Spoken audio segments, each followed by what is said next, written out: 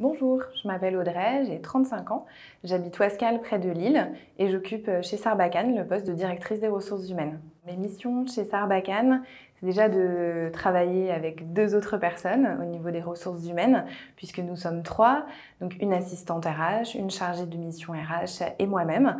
Et donc toutes les trois, ensemble, nous adressons euh, les sujets suivants, la marque employeur, le recrutement, l'onboarding, la formation, la gestion des carrières et l'évolution interne de nos collaborateurs.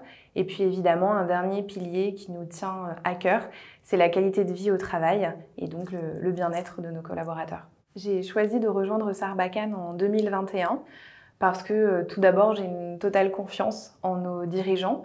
Pour moi, euh, ce sont des personnes inspirantes et visionnaires. Je crois en leur stratégie une stratégie pour Sarbacane de développement, à la fois euh, développement de Sarbacane qui a fêté ses 20 ans l'année dernière, mais aussi euh, stratégie de développement du groupe à l'international euh, notamment par de la croissance externe.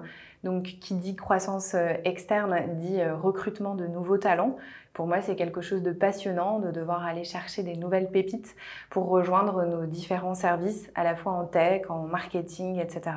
Un futur candidat qui aimerait nous rejoindre, j'aimerais lui dire clique, ose, candidate et viens nous rencontrer ici sur le campus afin de te euh, rendre compte par toi-même de la bonne ambiance euh, qui règne ici au sein de cette tribu.